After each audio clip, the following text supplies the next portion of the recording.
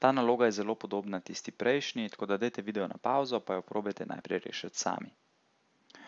V tem primeru vidimo, da če ustavljamo v našo funkcijo nič 1, 2, 3, dobimo nič 1, 4, 9.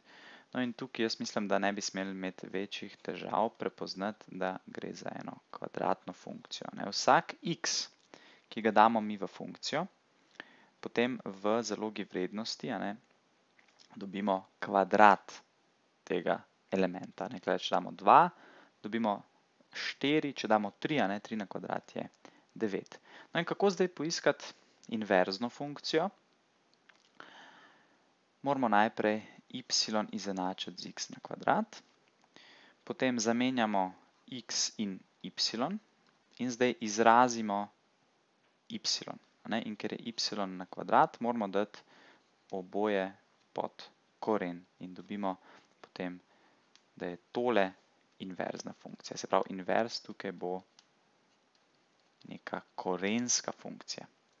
S to se bomo bolj ukvarjali v nadaljevanju, no ampak dajmo še v grafu to pogledati. Se pravi, mi imamo x na kvadrat, tale korenska bo pa, zapišemo skrt, takole, pa x.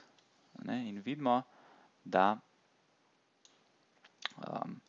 se preslika takole čez, zdaj vprašanje, ne, oziroma um, lahko potem zapišete spodaj, v odgovore, zakaj se, zakaj se preslika samo ta pozitivni del. Ne? Se pravi, kam so šle vse tele točke,